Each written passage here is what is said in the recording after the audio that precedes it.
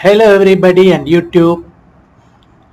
Today in tips and tricks I am going to show you something useful for Android Studio developers especially fresh developers because for Android Studio I faced this problem and I tried to recover it. It took me about two days to understand what is the problem and clear it. So hopefully you guys will benefit from this video. So let us see what is the problem. You can see that I have started the Android Studio and I am going to do the AVD manager and you can see that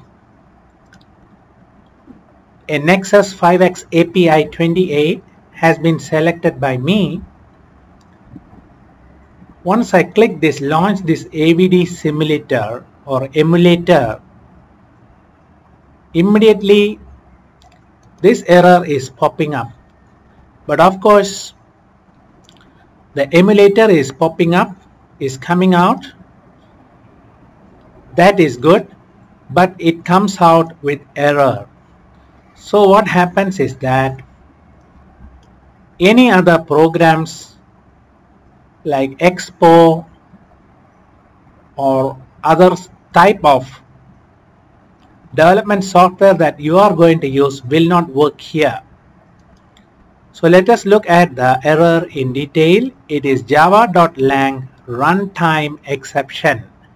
Unable to create debug bridge unable to start ADB server error protocol fault couldn't read status no errors so what they are telling is if you really want to start the ADB ADB stands for Android debug bridge.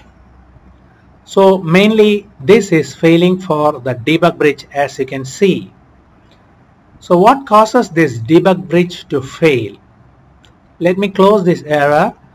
So I'm going to show you certain links that I got which lists solution for these failures. So let us click that links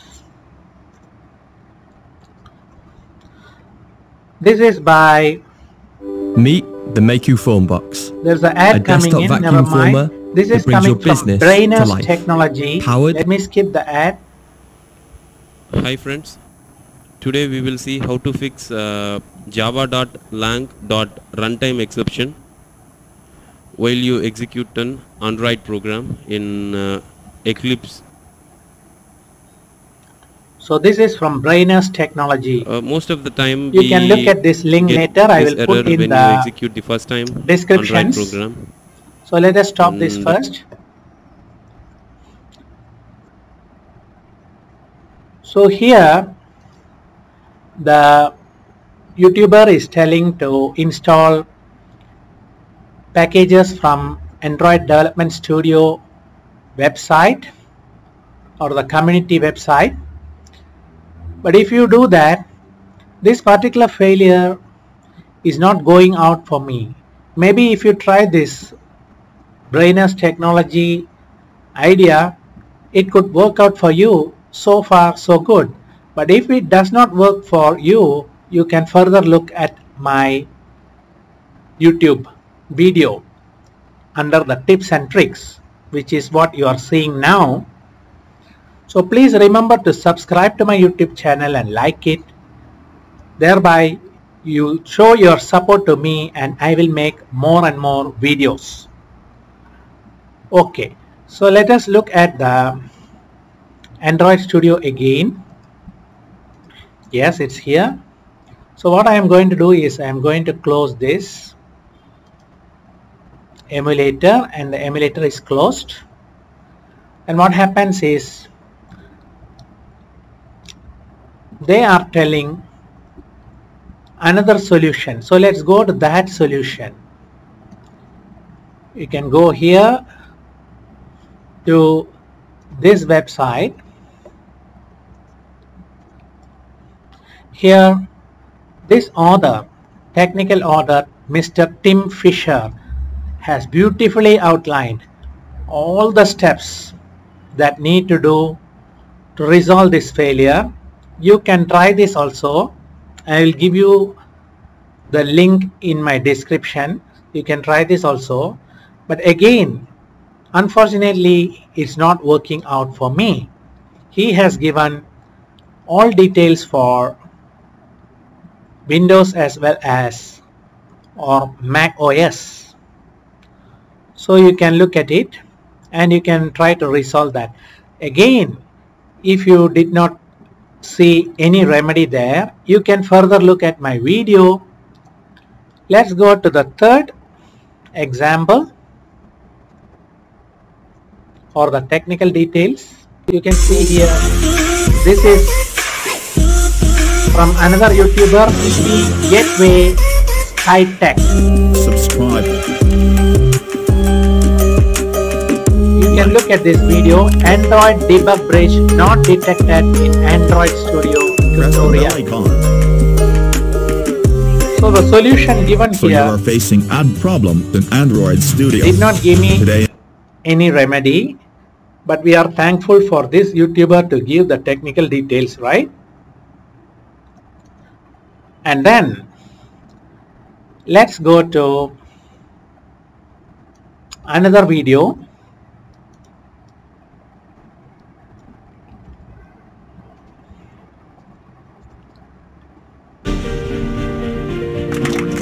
This is from Cell, C-E-L-L. Hi friends, so this video shows how to install and set up the Android debug This YouTuber is very quite popular where he PC. teaches a lot of So videos first we need to about download installing and, and setting up a real phone ADB into Android debug bridge. the From this internet URL, or the browser it. using computer. find this URL in So you can look at it also, but it doesn't work for me as You well the for my of this file case. is 8 And finally, I go to this Stack Overflow message. So let's go to that. This is one of the best technical articles that I have seen. And you can see that this particular technical reviewer who is Mr. Joe, I think, he is giving us a method where we can see and set a trace for the Android bridge, debug bridge. So what you can do is first of all this particular path which is users and then app data my username users username app data local android sdk here you will see platform tools. So you just click like this and you will get this full path. And you go to environment variables environment variables edit environment variables of your account and you go to the path and edit. And you can see here that I have put SDK platform tools here.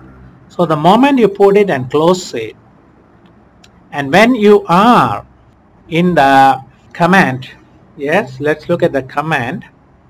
Run as administrator yes. So once you click it if you type ADB immediately some help files will come for you. And this is one of the check to see that ADB is working and also the environment variables are working. So now coming back to the stack overflow you can do something like this. Set ADB trace and give it the command prompt. So let us go down and let us paste this set a ADB trace and then we are going to ADB start server. Let's see what it is coming. So it shows no error. But the important point that I want you guys to focus here is that port 5037, this is where this ADB server is being served. So if port 5037 is being locked by another program, then of course you are going to get this error.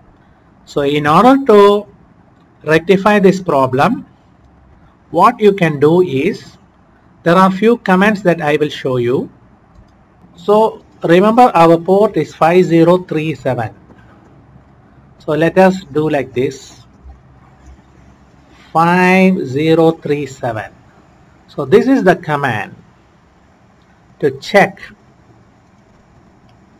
whether the port is being served or not yes the port is being listened at by this PID. We call it PID 13888. So how do we kill that port? Just use this command and you issue this command is rolling back and process is killed. So once you do that, you come back to your virtual device and you start it off. And everything should be perfect now. No more errors. Let's wait for a few seconds because this error comes after a few seconds so let us look at it. So we are so positive that this error did not come. Now let us try to remember and understand how this error came in. This could be one of the reasons that you have started ADB knowingly or unknowingly and then this ADB is being served at 5037 and we are unable to detect that.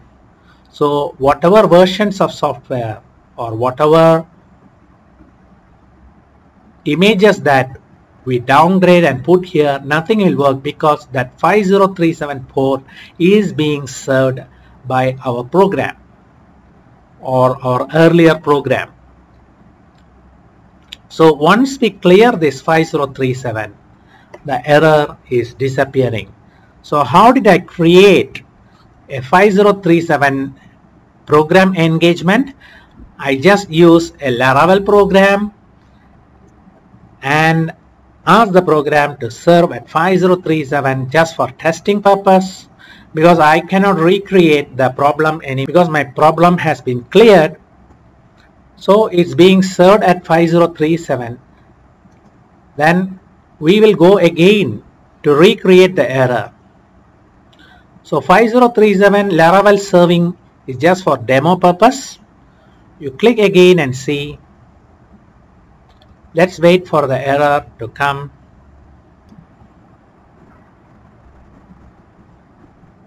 Yes, the error has come. Can you see that? So I'll clear the error again just for our understanding purpose. So how do I clear that? I will break this because this is just a Laravel program and then I will close this. I will close this as well. I'll call this virtual device again